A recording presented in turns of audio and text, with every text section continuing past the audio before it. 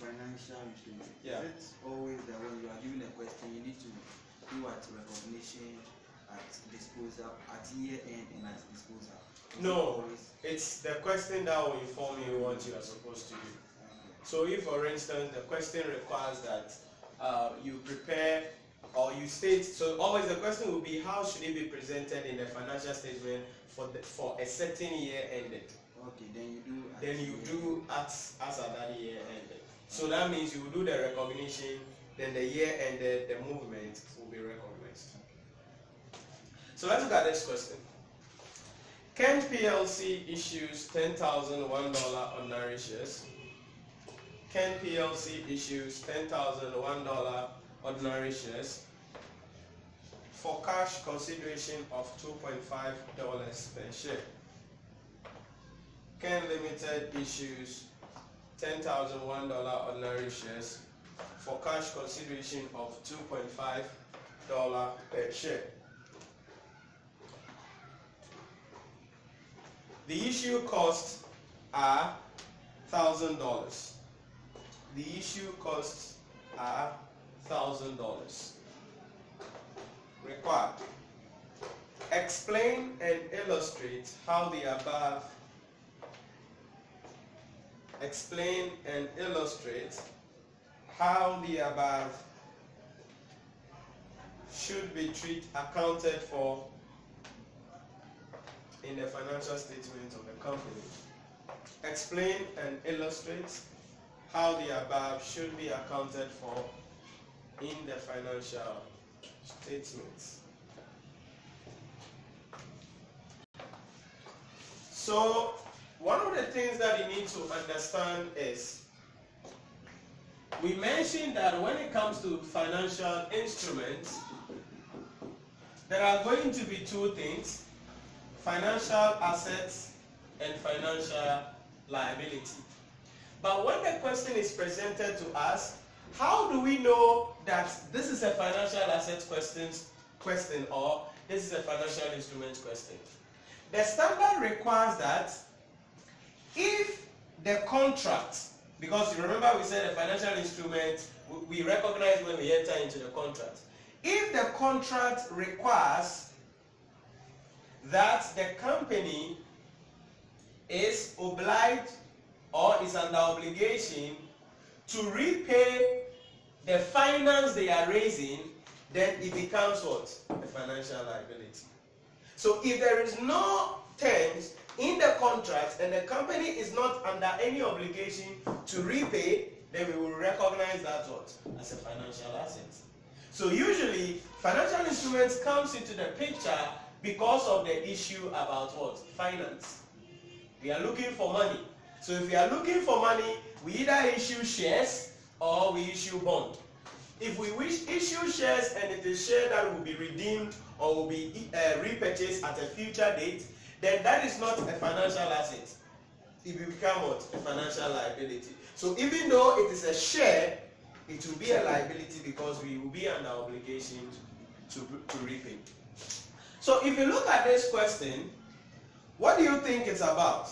Do you think it should be an, an equity instrument or a, a, a liability instrument, in your opinion? Certainly, financial assets be like an equity. It will be under financial liability. Why is, will it be under financial liability? Is there anything in the question that suggests that we will be repaying or repurchasing the loan, the shares? Nothing, right? So this will be classified as an equity instrument. Because the Ken PLC or the company is not under any obligation to repay. So that is the key thing.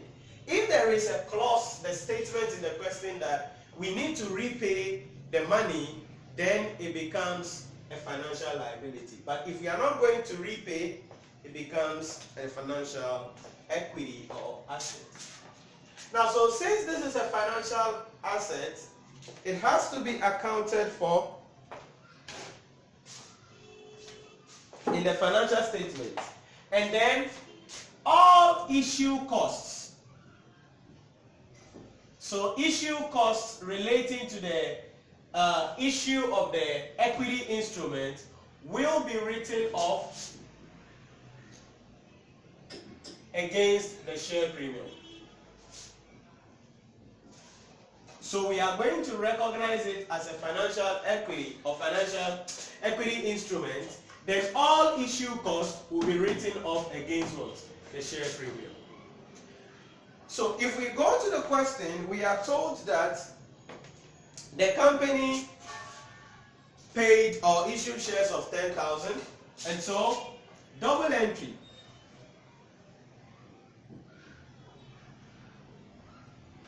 So journal entry. We're going to be debiting our cash book with the shares that we had. So a cash of.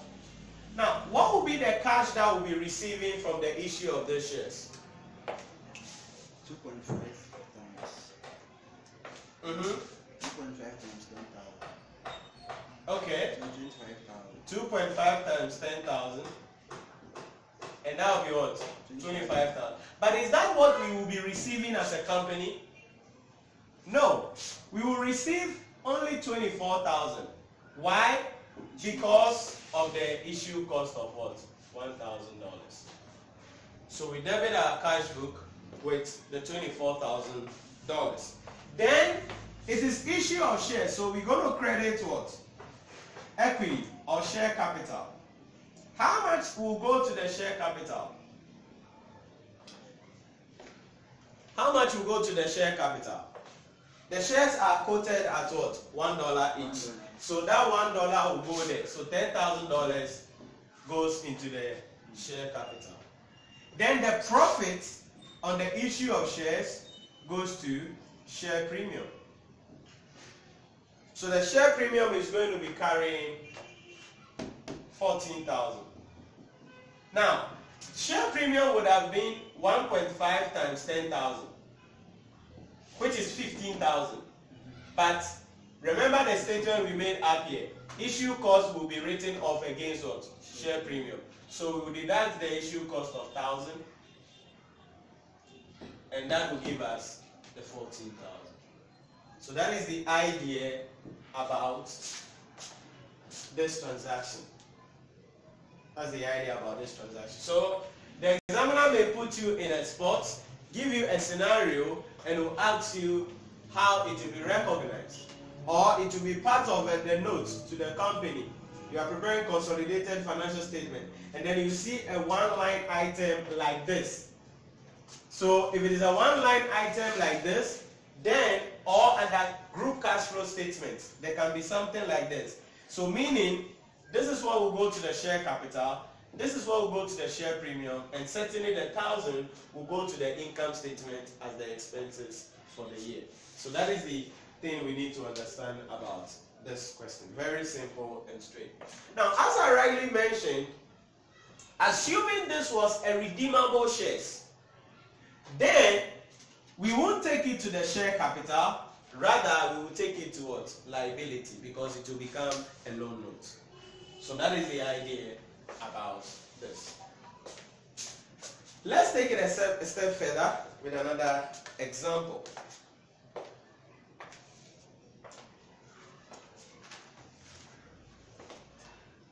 Broad Limited raises finance. Broad Limited raises finance by issuing 20,000 6% four-year loan notes.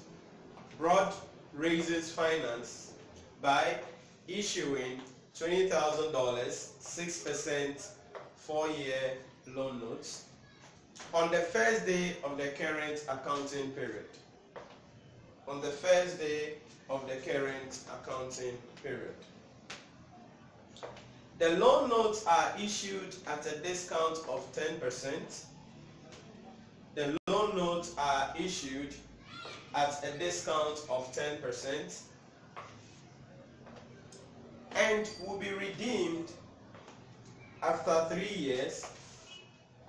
The loan notes are issued at a discount of 10% and will be redeemed after three years at a premium of $1,015. At a premium of $1,015.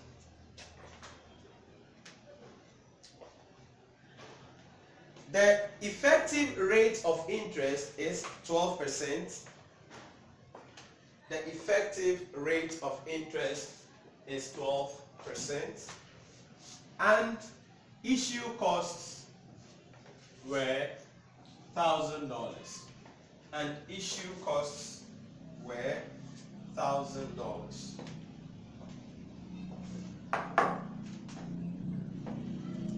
Required explain and illustrate how the above will be accounted for. Explain and illustrate how the above will be accounted for.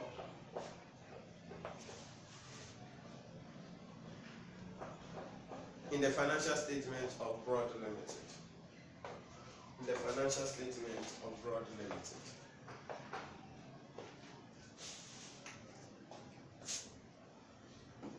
So this is a second scenario called Broad Limited and they are again raising finance. But what is it here? How do we classify this kind of finance? Is it equity instrument or a liability instrument?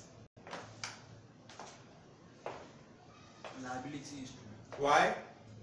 The it will be redeemed after three years. So they are under obligation to what? Repay. Right. So what it means is that this transaction will be uh, classified as a liability instrument and will always be carried at cost and fair value through profit or loss. So we will initially measure it at the fair value or the cost then we look at it at the fair value. Now, how do we find out the initial cost of this liability instrument? How do we do that? To do that, we are going to take into consideration the statement that the examiner has made. One, we are told that the thing is issued at what? A discount. Two, we are told that there is an issue cost. So we need to take all of that into consideration when we are recognizing the initial cost of what? The liability to be recognized. So how do we go, do, go that? First, we will bring the cash received. So the cash received is usually going to be the nominal value of the loan. So what is the nominal value of the loan? We are told it is $20,000. Then from this, we will less the discount. What was the discount? The discount 10%. Was 10%. So 10% of the 20,000, 2,000. We will less that and get 18,000. Then we will less the issue cost, which is also 1,000. Now, we will get the initial recognition of the financial liability.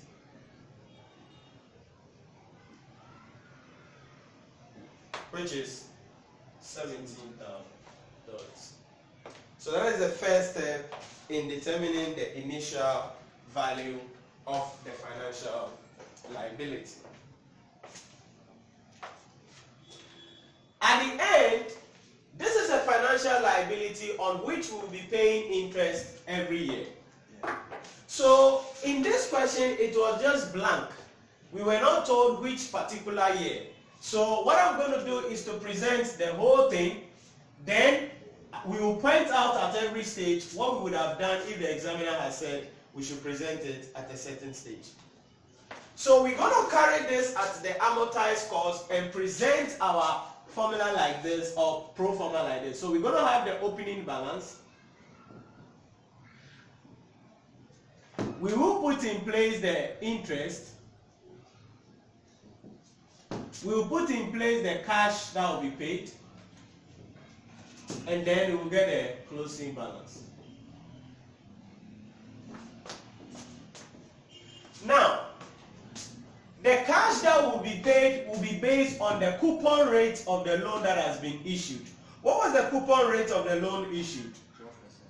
No, Coupon rate. that was the effective rate. Yes. Twelve percent. The 12% was the effective rate. But the coupon rate is the rate that we will use to pay the interest, which is 6%. Can you see that? 20,000, 6%, Four years. Four years. So that becomes the interest rate that we'll be paying. So we will use the effective rate to calculate our interest.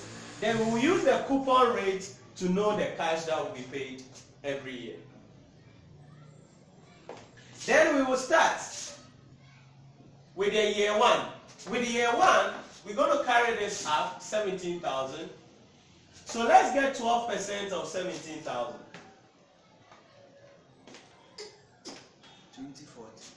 2040. Now the interest will be added to the opening balance and then the cash that will be paid. Now this will be 6% on the 20,000. So 6% of 20,000 Thousand one. 1,200. That will be subtracted. So let's do the arithmetic. That will give us the closing at the end of year one. Seventeen thousand eight hundred and forty. 17,840. That closing in year one becomes Opening. in year two, 17,840. Then we get 12% of that, Two one four one. 2141. The cash paid will still be the same. So let's get a closing.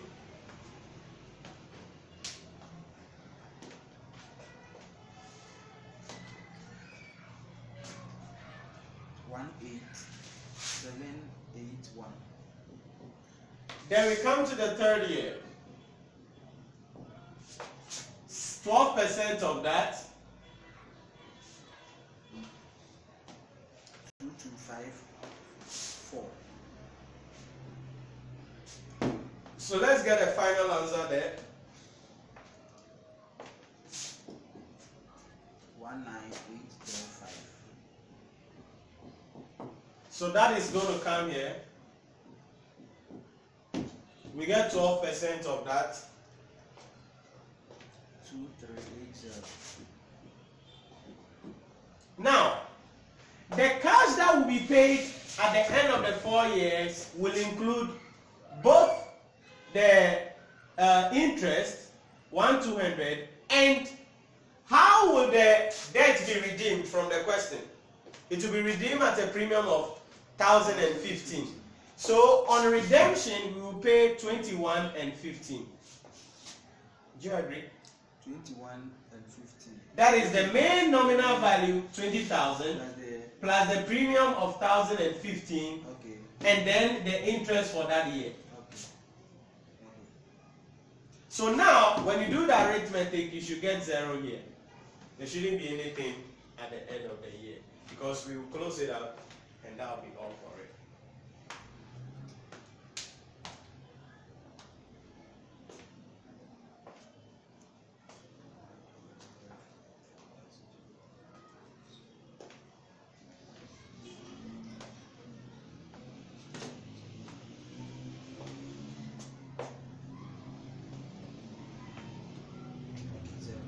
Zero.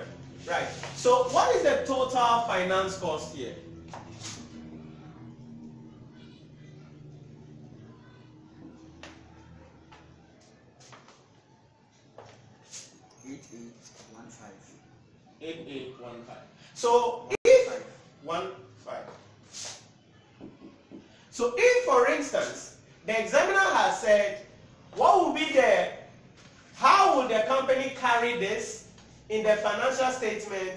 For the year ended for the second year?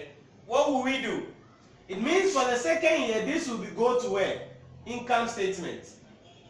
Are you getting the idea about the interest that we are going to be charging in the income statement? Then this will go into what? The balance sheet as the balance outstanding for the non-current assets in that case.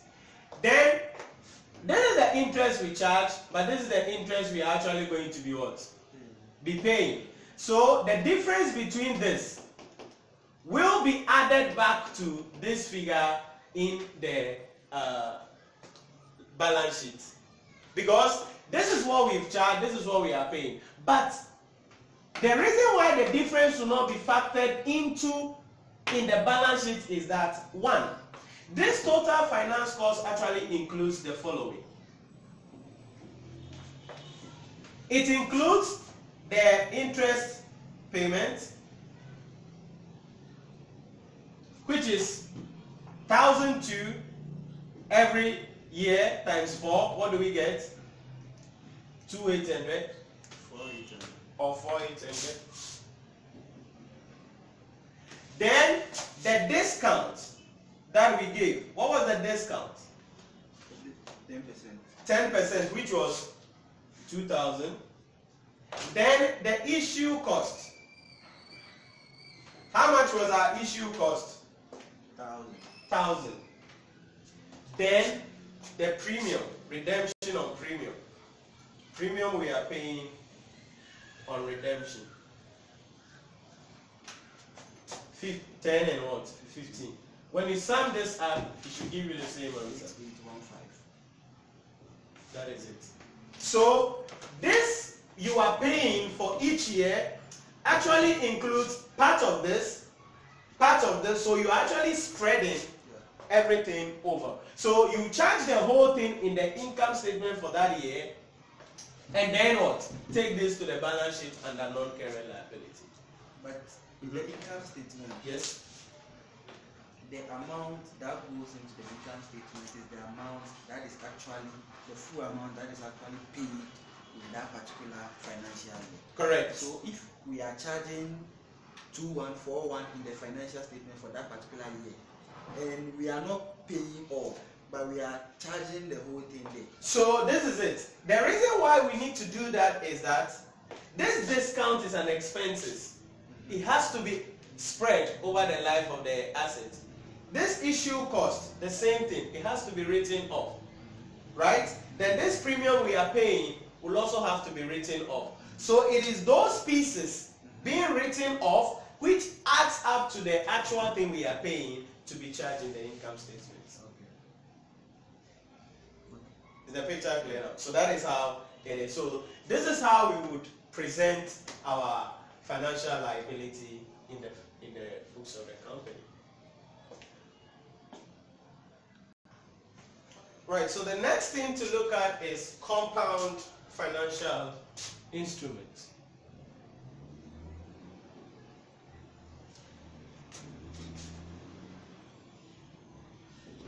So the two examples we've considered so far, one was about equity and the other was about liabilities. These were different. But there are times when there are what we call compound financial instruments. What are compound financial instruments? Compound financial instruments are simply the financial instruments that have the characteristics of both what? Equity and liability. So any financial instrument that has the characteristics of both equity and liability is financial is a compound financial instrument. Example. Example of a compound financial instrument is where a company issues convertible loan or convertible loan notes. Now, convertible loan notes are the loan notes that give what? Uh, the holders an option to convert the shares into what? Sorry, the loan into shares. Now, the fact that we have issued a convertible loan note does not mean they will convert. However, the standard says that as far as we have issued a convertible loan note, that means there is an equity component. So, at recognition, when we are uh, on initial recognition, when we issue a convertible loan note, the double entry is money is coming into the business, so we're going to be debiting cash. But we need to credit equity and at the same time credit liability. So the question now is, how do we split this convertible loan, this value, into the equity component and the liability component? The splitting into the equity component and the liability component, component can be done using the following steps. Step one. The first step is to calculate the debt component.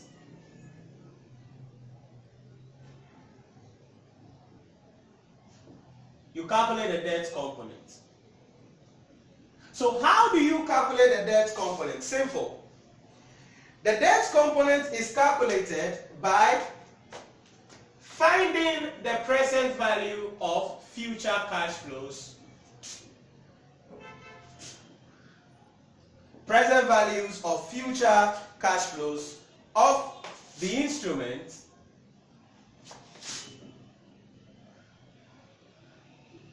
of the instrument using the current interest rate of similar bonds without conversion rights. So that is a concept. That's a concept. So to calculate the debt component, we are going to discount the cash flows on the bond. But the interest rate we're going to be using here, or the coupon rate, or the discount rate will be what? The interest rate of similar bonds without the option to convert. This present value thing gives us the debt component. That's the first step. Second step is to calculate the equity component.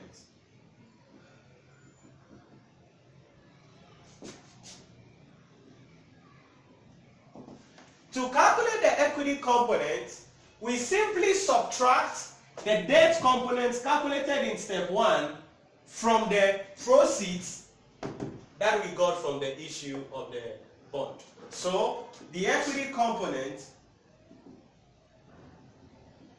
will be equal to proceeds from issue minus the debt component.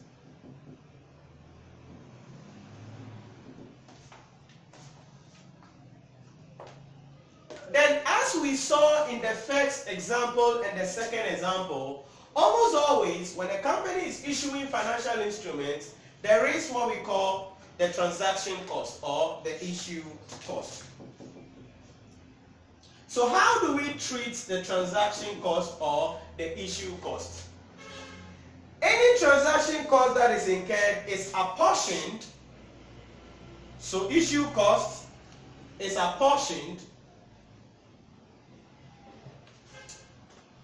to the equity and then what? The debt using their values obtained. So we apportion to the equity and debt using the value the values obtained in 1 and 2. So these are the three steps and this is a concept that you have to understand when you are treating compound financial instruments. So one, anytime there is a convertible loan note issues, know that it is a financial instrument. But that financial instrument has to be split into the equity component or the liability component. We don't care whether they will convert or not. All we know is we have issued a convertible loan note. Hence, it must have an equity component and liability component. So based on this understanding, let's look at a simple scenario on how we can present this and follow these three steps and present compound financial instruments. So example, on 1st January 2016, on 1st January 2016, NAMS Gold PLC issued 50 million three-year convertible bond at par. NAMS Gold PLC issued 50 million dollars three-year convertible bond at par. Three-year convertible bond at par with the following terms.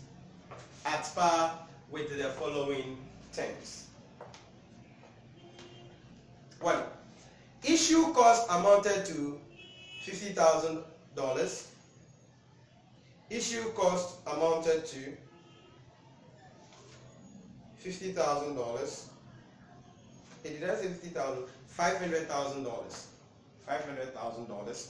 Next, the coupon rate is 10% payable annually in arrears. Payable coupon rate is 10% payable annually in arrears on 31st December. On 31st December. Next, bondholders may opt for conversion.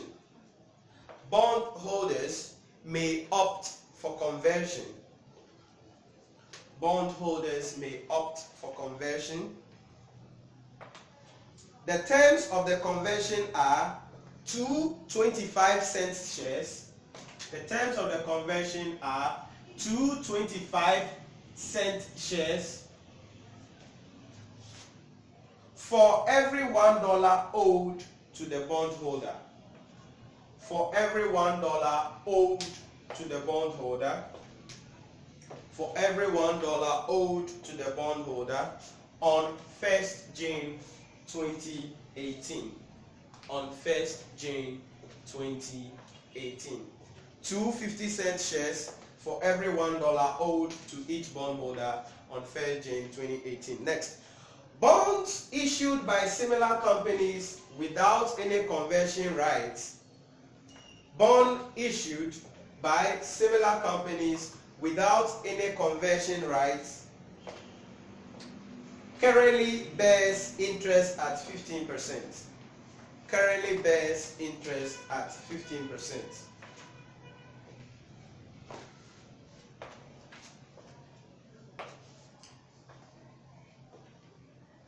Currently bears interest at 15%. Next, the impact of the issue cost, the impact of the issue cost is to increase the effective interest rate to the impact of the issue cost is to increase the effective interest rate to 15.425 percent.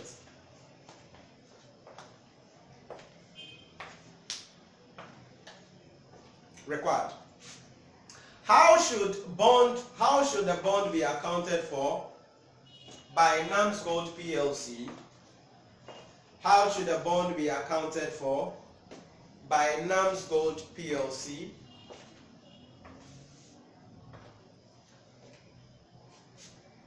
Assuming A, the bondholders opt for conversion. Assuming A, the bondholders opt for conversion.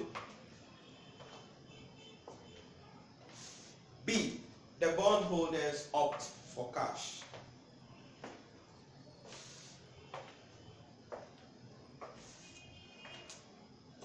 Right. So this is a typical compound financial instrument. And so we put the names of the name of the company down, NAMS Gold PLC. And we are supposed to account for this or how should it be accounted for if one, they opt for conversion and then two, if they opt for cash. So we need to go through the steps that we established. One, we need to determine, because this is a compound financial instrument, it has to be separated into its components. So the first step is to calculate the debt component. And how do we say we calculate the debt component? Present value of future cash flows, discounting at what?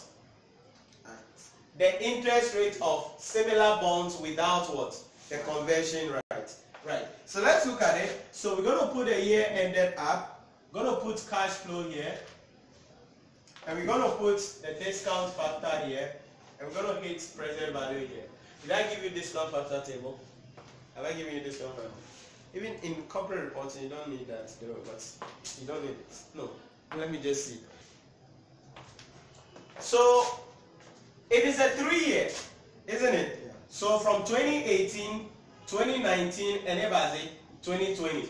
So 2018, 2019, 2020. So how do we get a cash flow? The discount rate will be the rate of similar bonds. What is the rate of similar bonds in the question?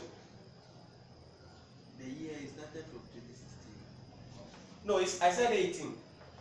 First January. 1st January 2018. The discount. Yes, the, the bond, the coupon rate for similar bonds,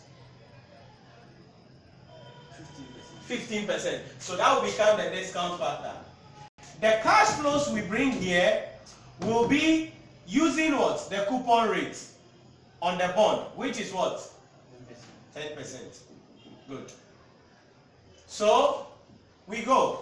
2018, 10% of the bond. How much was the bond? 50,000, 50 million, right? So we're going to tell the examiner we are working in thousands so that we can reduce the number of zeros we, right? So 2018, 2019, 2020. So 10% of 50,000, 5,000. 5,000. Every year, how much are we going to be paying? The discount rate. So this is going to be 1 over 1.15. Okay? You remember that? So we multiply. 4, 3, 4, 4, 3, 4, 9. 4, 3, 4, 4, 3, 2, 4, 8. 4, 3, 4. To the nearest thousand, right? Yes. Okay. 2019, the same money will come. This time, 1.15 exponent 2.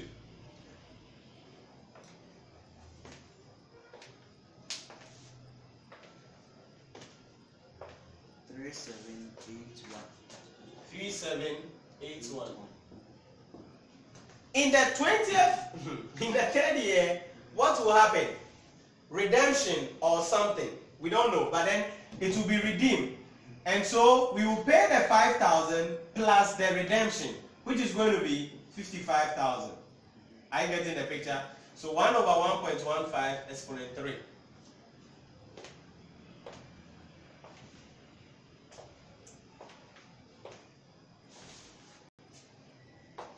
Thirty-six thousand one hundred and sixty-three. So we sum it up, that becomes the debt component. Which is the present value of the cash flows. Four, four, two, nine, two. 44292. So that is the debt component. So we will bring the proceeds. How much was the proceeds? Fifty thousand. 50,000. The difference between that will give us Five thousand seven hundred and eight. be like this. Yes. That becomes the equity component. Sounds good. So this is how we do the uh, split. Now there is an issue cost. If there were no issue cost and Kaya and Jane all we would do is debit our cash fifty thousand, credit equity Five thousand seven. five seven no eight, and then credit liability about this bond Forty-four thousand. 44292. If there were no issue cost. But because there is an issue cost, we need to share it among them so that everybody will have their own. And I told you that we are portion using their balance. So we're going to put the debt here. We'll put the equity up. And then we'll put total here. And we are still working in three zeros up. So let's bring the proceeds. Total proceeds was 50,000, which was splitted into 44, 292 for debt, and then 5,708 for equity. Then we will less the issue cost. How much was the issue cost? 500,000, right? Yes. So we share it. So 44292 divided by 50,000 times 500. Four, four, three. 443, we take it out.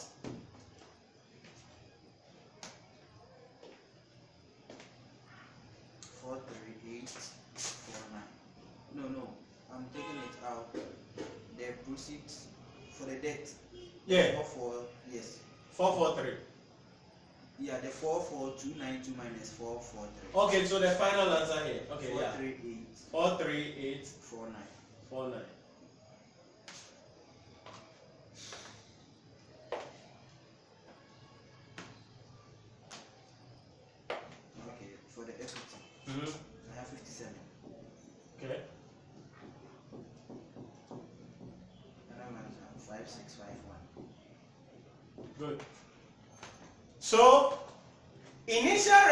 will be the issue cost, sorry, the issue here, and then also we will deal with what?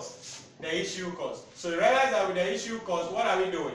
We are debiting equity, that is why we subtracted with what? 57, and we are crediting, sorry, still debiting the liability, that's why again we subtracted 443, but we are crediting the cash. So we are losing money of what? 500. The total, Yeah. we have to subtract the five hundred. Yeah, we have to subtract. So it becomes 49. Five. Sounds good. This is how it is. Now, when we finish like this about the initial recognition, the debt has to be carried at amortized cost. So we need to carry the debt at amortized cost and find out the value of the debt as at the end of 2020. Then based on that, we can now answer the question about what will happen if they should convert or what will happen if they should uh, redeem or take their money out. So put it down then let's continue. Right, so subsequent measurements. As I mentioned, the liability would have to be carried at amortized cost when we are talking about subsequent measurement. So we put our pro forma up. The opening balance, we bring the interest, cash paid, and then what? The closing balance. But be careful here. The interest we are bringing here is the what? Effective interest rate. So, what was the effective interest rate given to us? 15.1, Fifteen point four two five. okay, 425. So that is the effective interest rate. That's what we're going to be using. The cash paid will still be based on the coupon rate of what? 10%. So no problem about that. Now, you need to understand why this arrangement was done. We were told in the question that the payment for the interest is done at the end of the year. That is why we will add interest before we subtract. But assuming we were told it's at the beginning of the year, then this would have come before this will come. So three years. Let's go to 2018. What was the balance we got for the liability? After we deducted the issue cost. Four three eight four nine. 43849. So let's get 15.452% of that. 52 four two five. or 425. Of four three eight Four nine, yeah. six seven six four. 6764. Cash paid will still be 5,000, no P because 10% of the 50,000, right? The cash that wa- was brought. So now when we do the arithmetic, closing balance.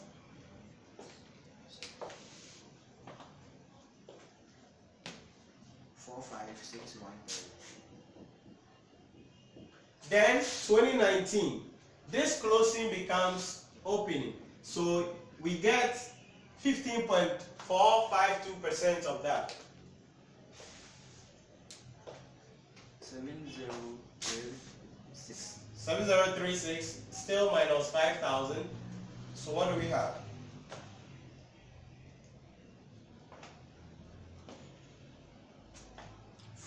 Four seven six four nine.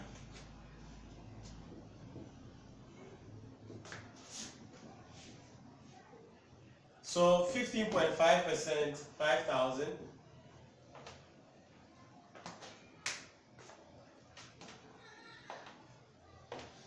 Seven three four seven three five zero.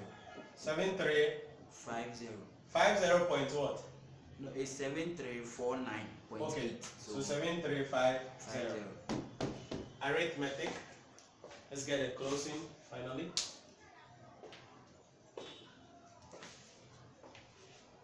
Four nine nine nine nine nine. So that means approximation sake, it would have been 50,000. Yeah.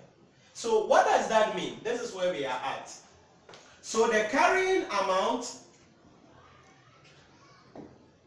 at or as at 1st Jane 2021 of the liability is how much? Fifty thousand. 50,000. But what about our equity? Our equity is still that figure we had because that one will not change. Five six five one. 5651, giving us a total of 55651. Am I right? Five five six five one. Yes. Yeah. So what happens now we are finished with subsequent measurements? Then the examiner said, what will happen on convention? So I, the first scenario was on convention. So when they convert, what is going to happen? So let's see what happens on conventions. What was the policy for the convention in the question? We were told that they will get how many shares? Twenty-five. Cents shares Two twenty-five cent shares for every one. For every one dollar. So the number of shares that they will get will be 50 million times two shares, isn't it? Yeah. And that will give us what? 100 million shares. Then the value of the of the shares that they will convert will be 100 million shares times the value which is 25 cents, 0.25 dollars. So what will be the value? Twenty-five. 25 million. But look at something. The value there is 25 million.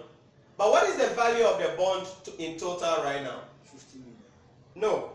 What is the value of the bond in total? Fifty-five. 55. Six five one. So what does that mean? The difference becomes what we call share premium. It means we are making a profit when they convert. So the share premium will be this figure 55 Six 651 minus 25,000.